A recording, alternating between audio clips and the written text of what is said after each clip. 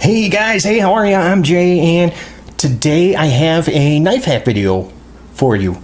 We're going to modify this Kizer Dukes. Specifically, I'm going to make this pocket clip from deep carry pocket clip I took from a Ganzo knife to fit the Kizer Dukes. Tools required. I like to use a rotary tool, my Dremel with the ceramic tile cutting bit, and of course vice grips with the rubber jaw covers so when I clamp down onto the clip I won't scratch the finish. Of course a Torx number 6. Now if you don't have a rotary tool you may be able to get by if you have a strong enough drill with with a um, well with a small enough drill bit you might be able to do it that way. I've I have before. Before I owned a Dremel, I would use my high-powered drill.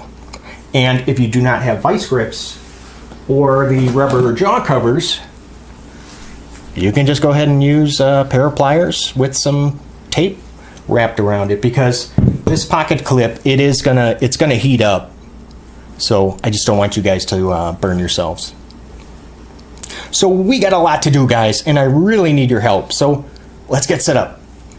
All right, well, of course, the first step is going to be to remove the existing pocket clip. And guys, I promise I will try not to bump the camera, but I do it all the time. So I'm going to apologize in advance, okay? I know you guys understand. Oh, you know, while I'm thinking about it, I you know I want to say hi and welcome to all my new subscribers that have come to me from Patty's Potato Peelers and Mr. Sharp and Blade Banter and Knife Shark. Welcome, welcome, welcome. Glad to have you guys. Okay, we get this off. There we go. Yeah, see, this thing just does not ride deep enough for me. This is a case of fantastic knife, terrible pocket clip. So, first thing we have to do is we have to make these two screw holes bigger to accommodate the drilled holes on the Dukes. Once we make the holes a little bit bigger, I don't know if you guys can see this, but the the bottom hole, it's actually kind of like canted just a little bit. So I'm gonna have to make some room in the bottom hole here as well. So because it's not just gonna be parallel. Alright guys, now this is gonna get loud. So you may want to turn the volume down. Here we go.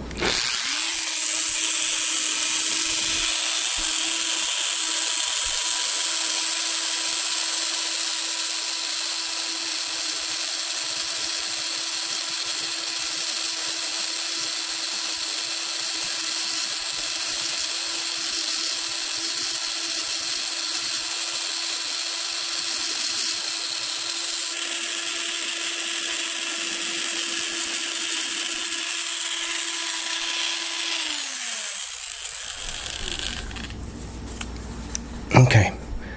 So as you guys can see, hopefully, got the holes uh, widened. Now,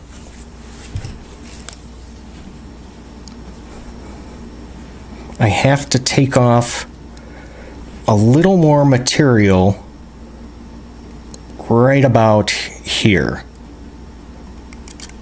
Wait, other side, sorry. Right about here on the lowest screw hole because of how it's tilted a little bit.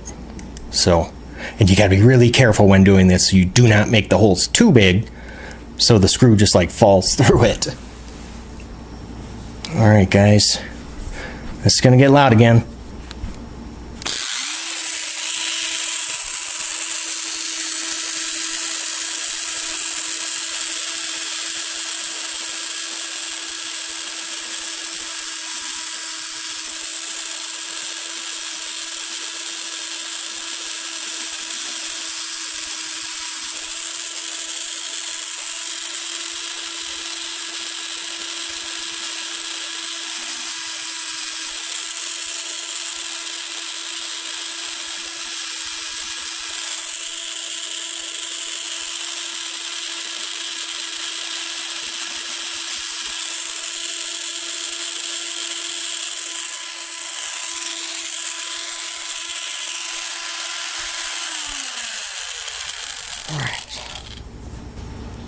All right. See if you guys can see that. One second.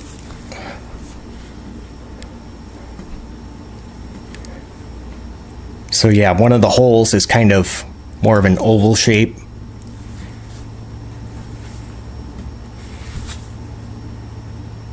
And I know I probably say this all the time, but I just want to remind you guys make sure when you're doing the work you're cutting from the back of the clip because if you make a mistake, big deal. It's not, you know, you're not going to see it anyway.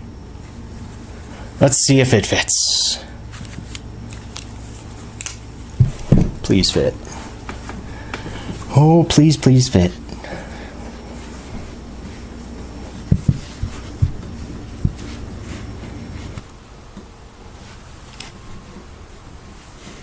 Okay. The moment of truth. Oh, please fit, okay?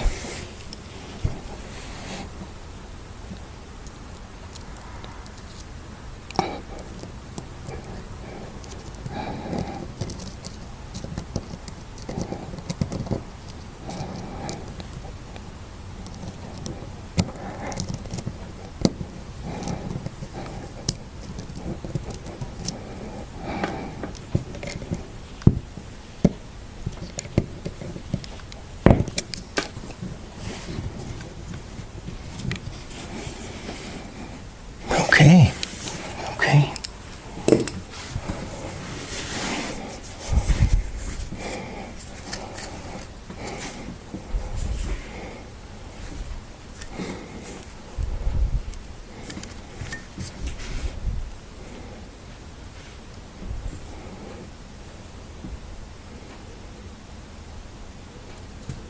What do you guys think?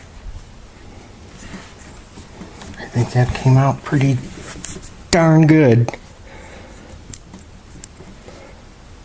See if I can show this to you guys. Old with the new. This, now with this clip on here, I gotta say, this makes this knife just about perfect. And it's not a super long clip, so it only takes up, looks like, about half of the space on the handle.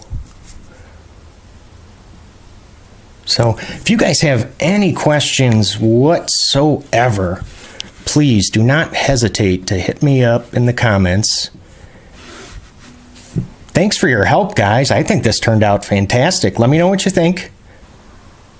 So, thanks so much for stopping by. And hey, I'll see you guys at the next video. And don't forget, click on that subscribe button, guys, if you're looking for knife reviews that get right to the point. Take care. I'll see you, okay?